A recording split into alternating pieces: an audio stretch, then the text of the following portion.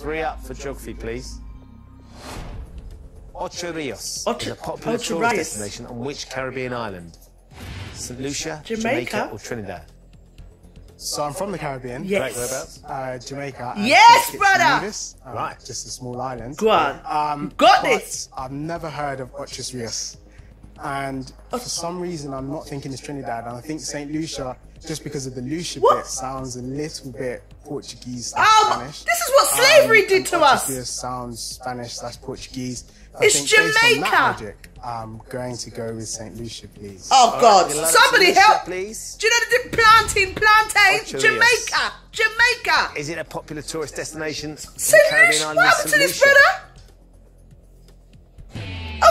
Jamaica. Oh, my it's goodness. Jamaica. Even a white man said that it's. Jamaica. Oh, You're supposed to be from Jamaica.